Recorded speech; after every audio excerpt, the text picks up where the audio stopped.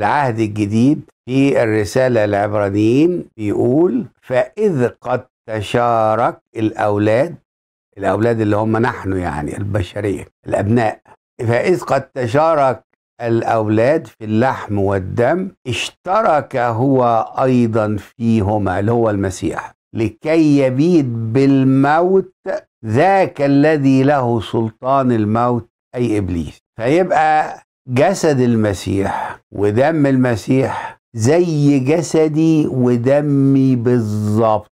تقول لي طيب ما انت جسدك وارث الفساد اللي في آدم. هجاوبك بقى وأقول لك ما هو يعني إيه التجسد؟ ما هو الفرق بين جسدي وجسد المسيح. إن جسد المسيح من لحظة البشارة بالحمل ليس إن الجسد اتكون وبعدين حل فيه الكلمة الأزلي.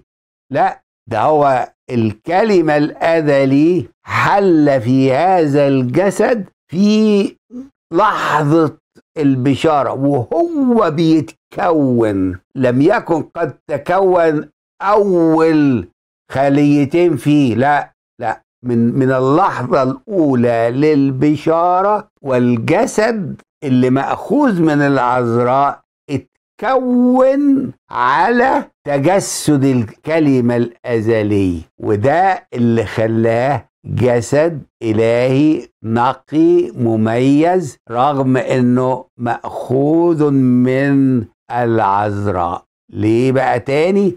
لأنه اتكون على تجسد الكلمة الأزلي من لحظة البشارة والبداية. دي نمرة واحد. نمرة اتنين لما بنقول دم يسوع المسيح يطهرنا من كل خطية أو الإنجيل يعني بيقول. هذا ليس معناه ولا مقصود بيه إن مادة الدم بتاعة المسيح في حد ذاتها هي اللي عملت التطهير. أمال معناه إيه؟ معناه إن سفك دمه هو اللي عمل التطهير. ليه سفك دمه هو اللي عمل التطهير؟ وده معنى إن دم يسوع المسيح يطهرنا من كل خطية. لأن سفك دمه كان نتيجة إن الشيطان جاي عليه بالموت. فهو قبل الموت بس قبل الموت للحظة. ليه بقى؟ لأنه هو الحياة. المسيح هو الحياة. فلما الموت جه عليه الحياة غلبت الموت. وهو ده اللي تسبب في قيامة المسيح. ومن ثم